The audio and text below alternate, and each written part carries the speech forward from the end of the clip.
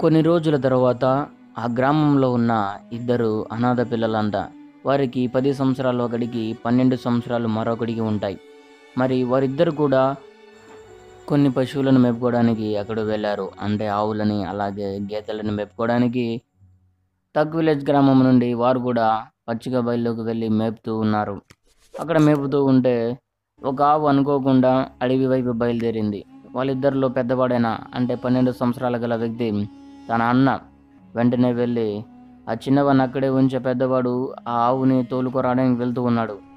కానీ ఆవు ఏమాత్రం కూడా వాళ్ళకి కంట్రోల్ కాలేదు. తాను అడవి వైపు వెళ్తూనే ఉంది. అలా ఉరుక్కుంటూ ఉరుకుతూ ఉరుకుతూ అడవి ప్రాంతంలోకి వెళ్ళిపోయింది. అడవి ప్రాంతంలోకి వెళ్ళగా అక్కడే ఎప్పటి నుంచో రాయల్ బెంగాల్ టైగర్ పగతో రగిలిపోతూ ఉంది. పన్నెండు సంవత్సరాలు గల ఈ చిన్న పిల్లవాడు ఏమాత్రం కూడా ఆలోచించకుండా ఆ ఆవు వైపు వెళ్తున్నాడు ఎందుకంటే వారు ఆవు ఖచ్చితంగా మేపుకోవాల్సిందే. అలాగే తన తమ్ముడు ఇద్దరు మాత్రమే వారి ఫ్యామిలీలో ఉన్నవారు. అందువలన తను ఖచ్చితంగా ఆవుని తిరిగి తీసుకురావాల్సింది. అడవిలోకి వెళ్ళినా వారికంటూ ఎవరు లేరు కాబట్టి. ఆవుని మేపుకోవడానికి వెళ్ళిన ఆ వ్యక్తి ఇంకా చిన్నపిల్లవాడు ముందుకు వెళ్తూ ఉన్నాడు. సడన్గా బెంగాల్ టైగర్ తనని పట్టుకొని అడవిలోకి ఈడ్చుకు వెళ్ళిపోయింది. తన అన్నని వెంటనే తీసుకువెళ్ళిన రాయల్ బెంగాల్ టైగర్ని చూసిన ఆ చిన్న పిల్లవాడు వెంటనే తిరిగి టగ్ గ్రామ ప్రజల్లోకి వెళ్ళిపోయి అక్కడున్న అధికారులకి జరిగినదంతా చెప్తాడు. జరిగినదంతా తెలుసుకున్నాక వెంటనే టగ్ గ్రామ ప్రజల్లో ఉండే అధికారులందరూ కూడా ఆ పిల్లవాడిని ఎతకడానికి అడవిలోకి గన్స్ తీసుకొని బయలుదేరతారు. వారు బయలుదేరగా ఆ పిల్లవాని యొక్క టోపీలు ఒక చోట అలాగే తన కాళ్ళ చెప్పులు మరొక చోట కనపడుతూ ఉంటాయి. అలాగే ఆ పిల్లవాని బాడీ పార్ట్స్ అయితే చుక్కుతాయి కానీ తను అప్పటికే మరణించి ఉంటాడు. అందరికీ కూడా ఏం అర్థం కాలేదు. అధికారులు కూడా బ్రాయల్ బెంగాల్ టైగర్ని ఏమి చేయలేకపోతున్నారు. అందువలన వారు చాలా నిరాశపడిపోయారు. ఇలా ఉంటే జనాలందరూ కూడా చనిపోతారు. తగ్గ్రామ ప్రజలు చనిపోతారు.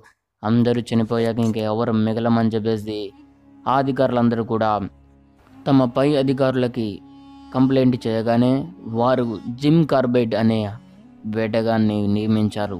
జిమ్ కార్బెట్ మీరు ఇంతవరకు చాలాసార్లు విని ఉంటారు. ప్రతి మ్యాన్ ఇద్దరిని కూడా చంపగలిగిన ఒకే ఒక గజ వేటగాడు జిమ్ కార్బెట్ జిమ్ కార్బెట్ని నియమించగా జిమ్ కార్బెట్ ఆ ప్రాంతానికి వచ్చాడు. ఆ ప్రాంతానికి వచ్చాక జరిగిన విషయాలన్నీ కూడా తాను తెలుసుకున్నాడు. జిమ్ కార్బెట్ వచ్చాక అలాగే ఈ అధికారులలో ఐబాట్సన్ అనే ఒక అధికారి ఉంటాడు. తాను కూడా ఒక వేటగాడు లాంటి వాడే. తాను కూడా వేటాడగలడు. అతనితో కలిసి నేను పులిని చంపగలను అని జిమ్ కార్బెట్ అంటాడు. జిమ్ కార్బెట్ పంతొమ్మిది వందల ముప్పై ఏడవ సంవత్సరం ఏప్రిల్ నెలలో జిమ్ కార్బెట్ ఆ గ్రామానికి వచ్చాడు. తక్ విలేజ్ అనే గ్రామానికి తాను వేటగానిగా ఆ రాయల్ బెంగాల్ టైగర్ని చంపడానికి వచ్చాడు. ఇక జిమ్ కార్బెట్ రాయల్ బెంగాల్ టైగర్ని చంపాలని ఆరు గేదెలనైతే టగ్ విలేజ్ గ్రామం చుట్టూ కూడా కట్టాడు. అంటే ఆ పచ్చిక బయలు ఉంటాయి కదా అక్కడ కట్టి తను వెయిట్ చేస్తూ ఉన్నాడు. ఇక రాయల్ బెంగాల్ టైగర్ రాగానే తాను కాల్చిపడేసి తనని చంపేద్దామని. కానీ జిమ్ కార్బెట్ అనుకున్న విధంగా జరగలేదు. మూడు రోజులైంది రాయల్ బెంగాల్ టైగర్ రాలేదు. నాలుగు రోజులైంది అయినా రాలేదు. ఇక ఏమీ చేయలేదంటూ జిమ్ కార్బెట్ అలాగే అధికారి ఇద్దరు కూడా కట్టేసిన గేదెల గేదెలపైన ఎక్కి ఆ రాయల్ బెంగాల్ టైగర్ రాగానే ఆ గేదెలపై నుండే అటాక్ చేద్దామని వారు అనుకుంటూ ఉన్నారు. కానీ ఆ రోజు కూడా విఫలమైపోయింది. రాయల్ బెంగాల్ టైగర్ రాకపోవడంతో వారు ఆ గ్రామంలోకి వెళ్ళి అందరిని కూడా ఎక్కడికి వెళ్ళనీయకుండా ఆ గ్రామ ప్రాంతాల్లోనే ఉంచుకుంటూ ఉన్నారు. కానీ జిమ్ కార్బెట్ తిరిగి రాగానే అక్కడ ఉన్న దూడలన్నీ కూడా చనిపోయి ఉంటాయి. అక్కడ ఉన్న గేదెలన్నీ కూడా చనిపోయి ఉంటాయి. అన్నిటిని కూడా బెంగాల్ టైగర్ వాటన్నిటిని తినేసింది. జిమ్ కార్బెట్ చాలా ఆశ్చర్యపోయాడు. తాను లోపలికి వెళ్ళి గ్రామంలోకి వెళ్ళి రాగానే వాటన్నిటిని తినేసిన టైగర్ గురించి. కానీ టైగర్ యొక్క కాళ్ళ గుర్తులు ఫుట్ ప్రింట్స్ అనేవి చిక్కాయి. వాటిని చూడగానే జిమ్ కార్బెట్ ఆ టైగర్ ఎలాంటిదో కనిపెట్టగలిగాడు.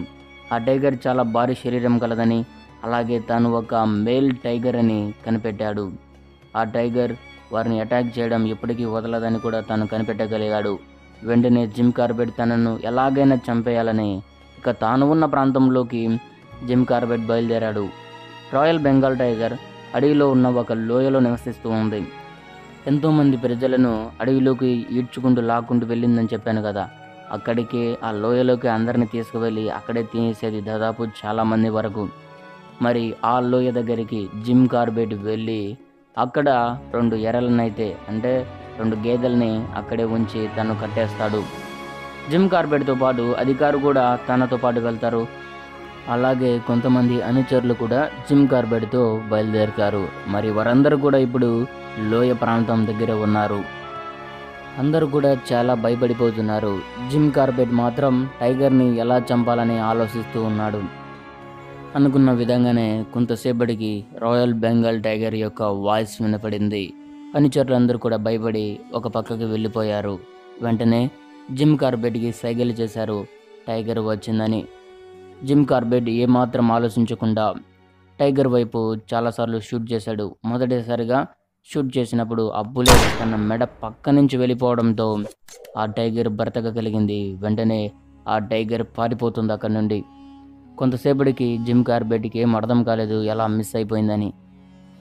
రాయల్ బెంగాల్ టైగర్ మిస్ అయిపోయినాక తనను ఎలాగైనా మరలా చంపాలని ఎక్కడికి వెళ్ళకుండా అక్కడే ఆ ప్రాంతంలోనే ఆ చెట్ల మధ్యలోనే దాగి ఉన్నాడు. కొంతసేపటికి బెంగాల్ టైగర్ వచ్చి అక్కడ ఉన్న జంతువులను ఎరగా కట్టేసిన ఆ జంతువుల పైన పడి వాటిని చంపేసి అలాగే తన పిల్లలకి పెడుతూ ఉంది. కానీ ఆ టైగర్ మ్యాన్ ఈటర్ కాదు. అంతకుముందు అక్కడే ఉన్నది ఫీమేల్ బెంగాల్ టైగర్ అండి. తాను అక్కడ ఉన్న జంతువులను చంపి ఎరగా వాడిన ఆ జంతువులను చంపి తన పిల్లలకి ఆహారం పెడుతూ ఉంది. జిమ్ కార్బెట్ వారిని చూసి ఏమనలేదు. ఎందుకంటే తన పిల్లలతో ఉన్న ఆ female Bengal tiger man eater కాదని తనను వదిలేశాడు.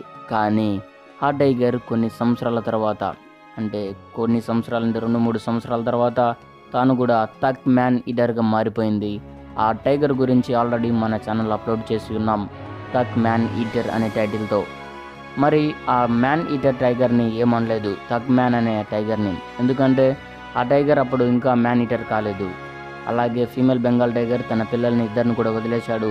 అటు తర్వాత ఆ ఫీమేల్ బెంగాల్ టైగర్ తాను తన పిల్లలు ఆహారం తిన్నాక ఆ టైగర్ అలాగే తన పిల్లలతో పాటు వెళ్ళిపోయింది. వెళ్ళిపోయాక మరి కొంతసేపటికి main Bengal tiger Chuka man eater ఇంకా రాలేదు. చుకా మ్యాన్ ఈటర్ రాకపోవడంతో జిమ్ గార్బెట్ ఇక అక్కడి నుండి అలాగే అధికారి కూడా ఆ ప్రాంతం నుండి తాము తక్ విలేజ్ గ్రామానికి వెళ్ళిపోయారు. జిమ్ కార్బెట్ బాగా ఆలోచించాక తను ఒక నిర్ణయం తీసుకున్నాడు. ముందుగా ఇద్దరు చిన్నపిల్ల వాళ్ళని చంపింది కదా దూడని అలాగా ఇద్దరు పిల్లవాళ్ళని చంపినప్పుడు ఆ ప్రాంతం దగ్గర ఒక ఆవుని కట్టేస్తాడు. ఆవుని కట్టేసి తను ఎర్రగా ఉంచుతాడు.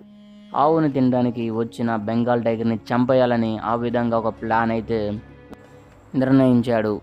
అనుకున్న విధంగానే అధికారి అలాగే జిమ్ కార్బెట్ మాత్రమే ఆవుని అంటే ఆ ఎర్రని తీసుకువెళ్ళి అడవి ప్రాంతంలో కట్టేసి వారిద్దరు కూడా ఇద్దరు వేరు వేరు చెట్లపైన ఎక్కారు. అంటే జిమ్ కార్బెట్ దగ్గరికి వస్తే అధికారి కాల్ చేయాలని అధికారి దగ్గరికి వస్తే జిమ్ కార్బెట్ టైగర్ని కాల్ చేయాలని అనుకున్నారు. అనుకున్న విధంగానే ఎక్కడైతే ఆవును కట్టేశారో ఆ చెట్టు పైనే జిమ్ కార్బెట్ ఎక్కి ఉన్నాడు. అలాగే ఎదురుగా ఉన్న చెట్టు పైన అధికారి ఎక్కి ఉన్నాడు. కొంతసేపటికి బెంగాల్ టైగర్ ఎంట్రీ ఇచ్చింది. ఆ మ్యాన్ ఈటర్ ఎంట్రీ ఇచ్చి అక్కడ ఉన్న ఆవుని చంపేసి తనను ఈడ్చుకుంటూ అడవిలోకి తీసుకువెళ్ళి తనను తింటూ ఉంది. తిన్నాక తింటూ ఉన్నా ఈడ్చుకు వెళుతూ ఉన్నా కూడా జిమ్ కార్బెట్ ఏమాత్రం కూడా తన మీద అటాక్ చేయలేదు. ఒకవేళ మిస్ అవ్వచ్చని. కానీ జిమ్ కార్బెట్ అనుకోకుండానే ఎవరు ఊహించిన విధంగా ఆ బెంగాల్ టైగర్ రాకతో అక్కడున్న కోతులన్నీ కూడా కిచకిచలాడడం మొదలుపెట్టాయి. ఆ కిచకిచలాడడంతో అందరికి అర్థమైపోయింది జిమ్ కార్బెట్కి అర్థమైంది. మ్యాన్ ఈటర్ అయిన టైగర్ మరలా తన వైపు వస్తుందని అంటే గ్రామంలోకి వెళ్ళాలని అని అనుకున్నాడు. కానీ తాను ఆవుని తిన్నాక కొంత రెస్ట్ కోసం జిమ్ కార్బెట్ ఎక్కడైతే ఉన్నాడో అదే చెట్టు కింద వచ్చి పండుకుంది. వెంటనే జిమ్ కార్బెట్ తన కిందకు చూడగా తనకి తోక అలాగే తన వెనక భాగాన ఉన్న కాళ్ళు కనపడుతున్నాయి టైగర్వి జిమ్ కార్బెట్ ఏమాత్రం ఆలోచించకుండా తన కాళ్ళలోకి వెంటనే ఒక బుల్లెట్ని దించాడు. బుల్లెట్తో షూట్ చేయగానే ఆ బుల్లెట్ తన కాళ్ళలోకి వెళ్ళిపోయింది. వెంటనే బెంగాల్ టైగర్ పరుగులు తీయడానికి లేచింది కానీ వెంటనే జిమ్ కార్బెట్ తన రెండవ బుల్లెట్ని చెస్ట్లో అయితే షూట్ చేశాడు. అందువలన ఆ టైగర్ అక్కడికక్కడే మరణించింది. చుకా మ్యానిటర్ చనిపోయింది. పోస్ట్ మార్టం రిపోర్ట్లో తెలిసింది ఏంటంటే చుకా మ్యానిటర్గా తను ఎందుకు మారిందంటే తనని ముందుగానే ఒక వ్యక్తి గాయపరిచాడని అటు తర్వాత అధికారులందరూ కూడా బుల్లెట్స్తో గాయపరిచి తనని ఇంకా మరింత మ్యాన్ ఈటర్గా మార్చడానికి కారణాలు ఇవే అని జిమ్ కార్బెట్ తన డాక్యుమెంటరీలు తెలిపారు. అలాగే మ్యాన్ ఈటర్ అయిన చుకా మ్యాన్ ఈటర్ అనే టైగర్ తన కింది దవడలో అన్ని పళ్ళు కూడా ఇరిగిపోయాయని తాను తెలిపాడు. ఓకే ఫ్రెండ్స్ మరి ఇలాంటి ప్రతి నిజ సంఘటనలు మన భారతదేశంలో జరిగిన ప్రతి టైగర్ స్టోరీ అలాగే లయన్ స్టోరీస్ గురించి మన ఛానల్లో తెలియపరచడం జరుగుతుంది. మరి ప్రతి స్టోరీ కూడా ఎంతో కష్టతరంగా రావడం జరుగుతుంది. అలాగే ఎన్నో రోజుల నుంచి మనం వీడియోలు చాలా లేట్ అయితే అయింది ఇక ప్రతి ఒక్క వీడియోను కూడా త్వరగా తీసుకురావడానికి ట్రై చేద్దాం. చాలా సెర్చ్ చేసిన తర్వాతనే మీకు ఈ వీడియోలు తీసుకురావడం జరుగుతుంది. అలాగే ఎన్నో వీడియోస్ మన ఛానల్లో అప్లోడ్ చేస్తున్నాం మీరు కానీ చూడకపోతే చూడండి. ఓకే ఫ్రెండ్స్ మరి ఇంతవరకు సపోర్ట్ చేసిన ప్రతి ఒక్కరికి థ్యాంక్ యూ మరి ఈ స్టోరీ నచ్చినట్లయితే లైక్ చేయండి షేర్ చేయండి. Thanks for watching stay tuned for more updates